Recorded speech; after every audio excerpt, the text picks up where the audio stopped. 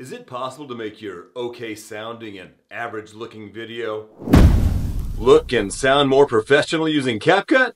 Yes, yes it is. Now let's see how we can make your videos that don't look or sound so great look and sound more pro. First, go ahead and download all the elements we use in this video, link in the description below. Do it right now so you don't forget. First, we're going to enhance the audio. Let's jump into CapCut. I'm gonna take my clip and we're going to watch a couple seconds just so you can see how it looks and sounds before. Is it possible to make your okay sounding and average looking video so it looks and sounds just okay. The lighting is fine. The background is boring. The audio is too low and kind of echoey. The mic is good, but I'm far away from the mic. And if you're far away from the mic, it sounds bad. Even with this mic, this is a thousand dollar mic left over from my voiceover days. If I stand back here, the audio suddenly sounds terrible. So more important than having a great mic is being close to the mic. Now it sounds considerably better. For this clip, we're going to fix the second half of the video right after I snap. So I'm going to hit Shift Z to zoom in on the timeline. And I'm going to, I can see the snap in the timeline because there's barely a waveform right there. And I'm going to let the snap complete. Then I'm going to cut the clip right here by hitting Command B on a Mac or Control B on a PC and we're going to fix the audio on this clip. The first thing we're going to do is click on audio, making sure this is highlighted, select loudness normalization, and that fixes a lot. Look and sound more professionally. So it sounds better because the audio is normalized, which does a little better job than just raising the volume, but it's still kind of echoey because I'm so far away from the mic. To fix that, we can use this pro feature called Enhance Voice. I click on that, and I find that around 50% works pretty well. Takes a second to process, but now let's see if we can hear a difference. Looking video. Look and sound more professional. So step one, check. Sounds way better, right? Step number two, let's make the background blurry. Now, one thing that you see all the time in well done YouTube videos and in every movie, to make a subject pop out from the scene, you gotta make the blurry background. There are many ways to do that when you're filming, but if you fail to do that when you're filming or your camera's not so great at it, here's what you can do in CapCut. The first thing we're going to do is turn the track magnet off so that clips don't slide over automatically. We want more control. So I'm gonna turn this off. So now when I slide that over, it just stays there. I'll hit Command Z to undo that. Next, we're going to duplicate this layer. To do that, I'm going to hold down the Option key on a Mac and the Alt key on a PC, click and drag up. And it didn't line up exactly. So one thing you can do to make sure things line up better is to make sure that snapping is on by clicking on this guy right here. Now, when I drag it up, it's going to have a much easier time snapping into place. Also, I do not need two layers of audio here, so I'm going to drag this audio down. Otherwise, it would sound bad. Next, we're going to just cut me out of the top layer so I can blur out the background layer. To do that, I click on Video, Cut Out, Auto Cut Out. Notice that it only cuts out human figures. It said right before I, I clicked it and did it.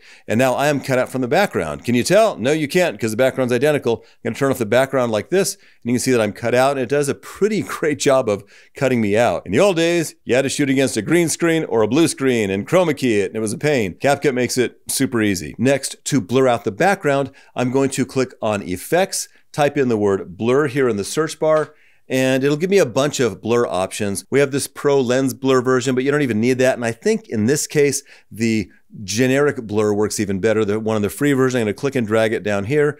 And now we can adjust the blur strength. And you know, right around here in the 40s is pretty good. Too much, and that's that's kind of extreme. But down here it looks it looks pretty dang good around you know 45 or so. So not bad. And if we play it for a second, using CapCut, I mean, it might be a little bit too much. So let's just take it down a little bit more. So there, you know, we'll, we'll stick with 29. How's that? Everyone on YouTube is, you know, 20 or 30 and I'm 60. So I'd like to look closer to their age. To do that, we click on this top layer, we click on Video Enhance, and we have this feature called face. There's a bunch of other features. We're just talking about this one. To enhance my face, I choose how many people are in here, one or more. It's just one guy, so single mode. And then I can start messing with these sliders to make me look, you know, less wrinkly and more like you, who's probably, you know, 20 or 30. We've got some pro features, some free features. The free features are, are great. In fact, it might be all you need. So if I drag this down, it just starts to smooth out my face. Oh, that's, that's kind of great. And we've got some smile lines here. We can kind of get rid of those. Know, if you see these start to go down, brighten my eyes so they pop a little more, more poppy, dark circles. I don't really have dark circles too bad, but you know, this stuff, it all helps. And oh, whiten my uh, my brown teeth from a lifetime of, you know, being alive.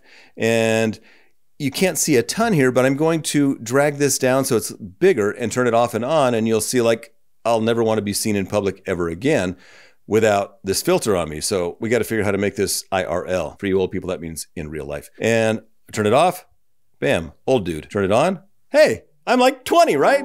The lighting here is fine, but it's kind of boring, not very vibrant. What can we do about it? Well, luckily, CapCut's got a really cool AI feature called Relight. You click on Video Basic, you scroll down to Oh, look, it's called Relight. It is a pro feature. We can relight the background. We can relight me, and it doesn't matter if there are two layers or not, but we're going to do it with two layers. Since we have two layers here, I'm going to click on the background. I'm going to click on Relight, and I have some options. I can choose ambient or facial or creative or presets. In this case, we want to change the ambience, the background here. And I can choose one of these to start with. Let's just choose teal light because I love teal and orange. And bam, it did a great job there. It already looks better, but let's just do a little bit more so you can see how it works. We have three lights on this preset. One of them is for the light on the left. You can click on it and see and adjust it. The other one on the right, and there's one here in the middle. Now this one in the middle is a directional light that we don't need because I just want two lights. So to get rid of it, you just hit this little X right here. But I want this light to be more intense. Let me just show you the features and how it works. There are two types of light, a directional light,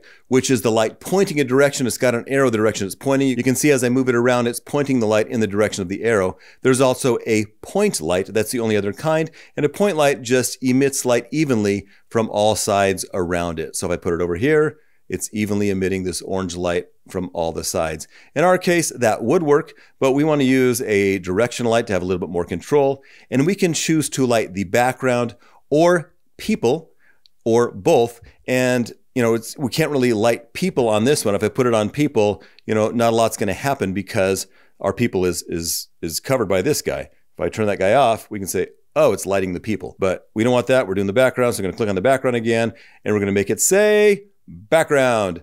And we're going to drag it over here and make it more intense. So to increase the intensity, well, you just drag the slider over, increases the intensity. And I would like it to be less bright. So it's more, you know, vibrant. So I'm going to drag this down and oh yeah, look at that. That's, I think that's way cooler, right? And highlights will adjust the high points a little bit, but it doesn't do a ton because this is already pretty dark.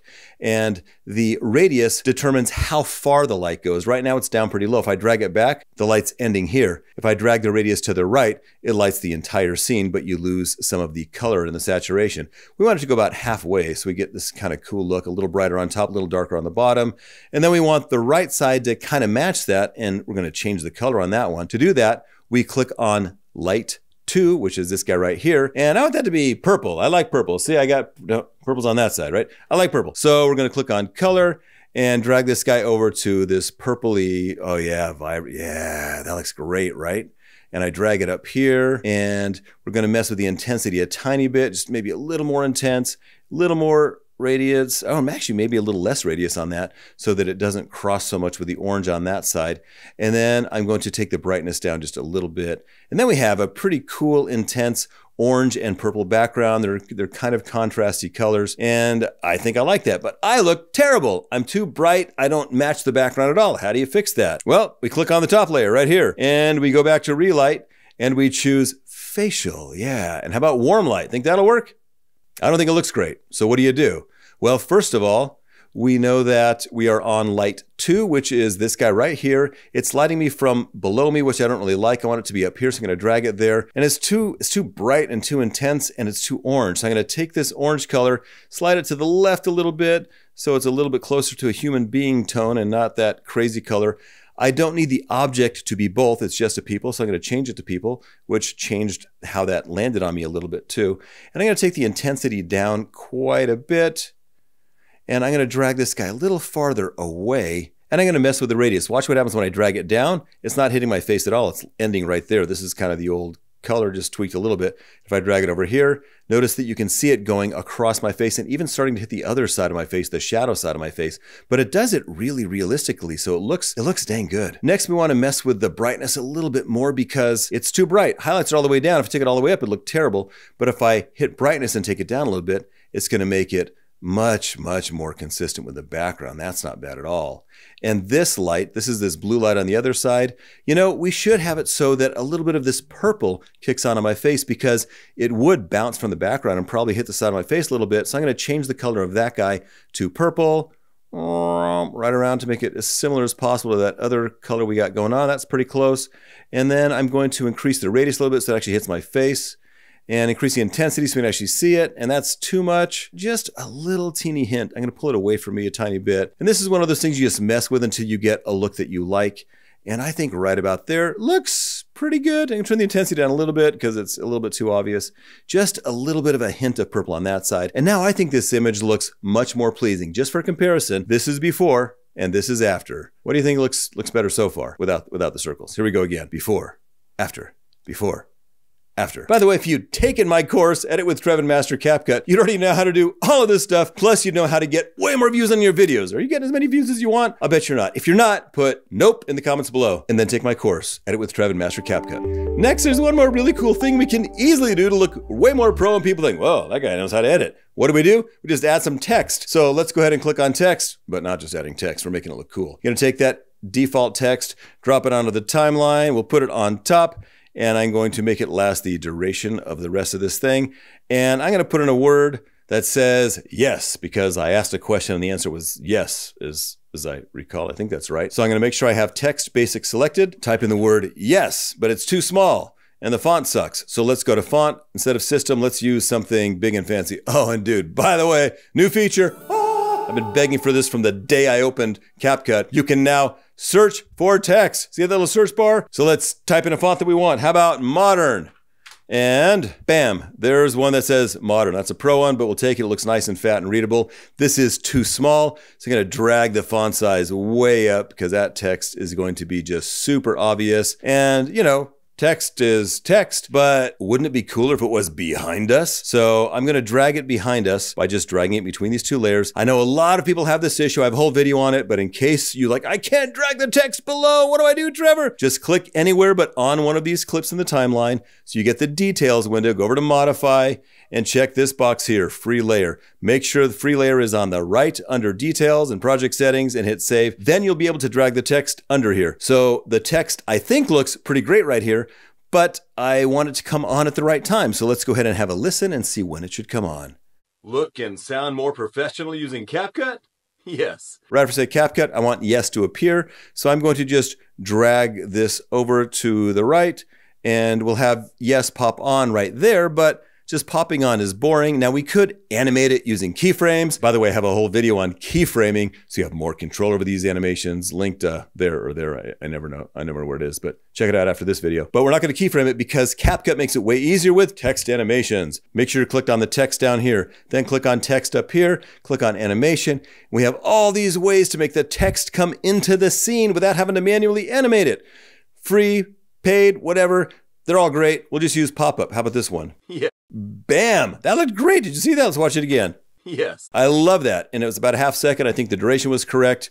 And I think this looks great. Those are the five things. Here's a little bonus thing for sticking around to the end. I'm going to click on this top layer and this is lit cool, but I don't love it. It feels like it needs to be a little more vibrant. So I'm going to click on this top layer and go to adjustment and scroll down to adjustments and just kind of mess with this a little bit so it pops a little bit more. And one thing that I do in almost every video clip of my face is I drag the highlights down a little bit so they're not so different from the shadows on the right side. I drag the shadows up a bit and then I go into curves. Now I know curves are fancy and scary, but just click on curves right here there's you know there's RGB and then there's the contrast one, the brightness one here. So we can mess with this just briefly. So I want to take the highlights up a little bit so the whites look a little bit whiter. This is white on this side, this is black on this side. I'm gonna click kind of somewhere between towards the whites, add a beat, a little dot right here. I'm just gonna drag it up a little bit to make my face a little bit brighter. And then the darks I want a little darker, so I'm gonna just drag this beat down here a tiny bit to make the blacks a little blacker. Yeah, yeah. And I think that looks a lot better. And this is called an S curve.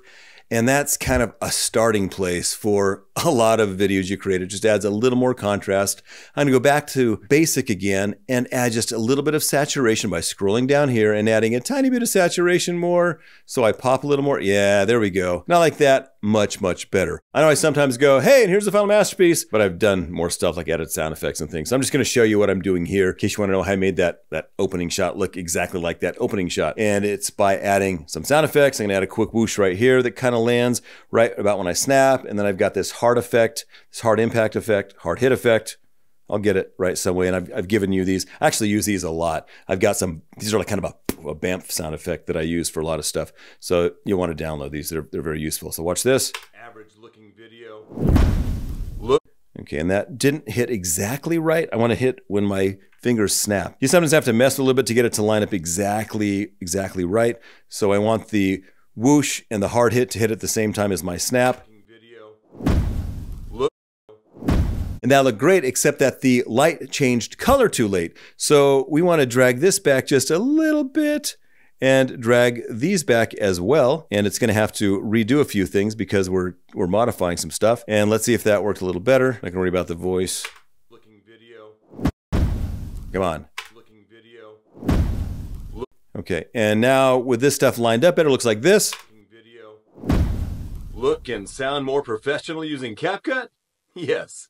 Okay, and obviously that yes needs a sound effect. There's actually a good sound effect built in to CapCut right here. If I go to, I think, sound effects and type swish. God, I'm so glad they have these searches in here now. Maybe this one. Yeah, that one's kind of great. And I'm gonna grab that and take it down a tiny bit. Now this snappy thing is okay with the sound effects now, but it could use a transition. Now, here's a side note from a Hollywood editor. The transition that is used 99% of the time in real Hollywood movies and TV shows and commercials is a straight cut, just going from one clip to the next one with no fancy schmutz in between. But sometimes it's kind of cool, and CapCut has a lot of really cool transitions built in. So we're gonna add a, a fun transition here to polish the thing off. We're gonna highlight all of the video clips, including the text, right click and choose create compound clip. We're going to the exact frame where it changed from that to way cooler. And we're going to add a cut there by hitting Command to be on a Mac or Control B on a PC. Then we're going to jump over into transitions and find this Electric Light 2 or any transition. This is a pro one. You may not have it. Any of these will work. They're kind of cool. I'm going to grab Electric Light 2, drag it down here, make it a little bit shorter. And now this transition will look like this. Average looking video. What? Way cool, right? To watch the final masterpiece, you want to just go back to the beginning of the video and, and watch the whole thing because there's a lot to learn and you probably forgot all of it already. One thing that can totally make you look way more pro is to understand color correction and color grading. No, they're not the same thing. You need to watch my video on color correction and color grading right here, right now, so you can just, you know, smoke everyone else.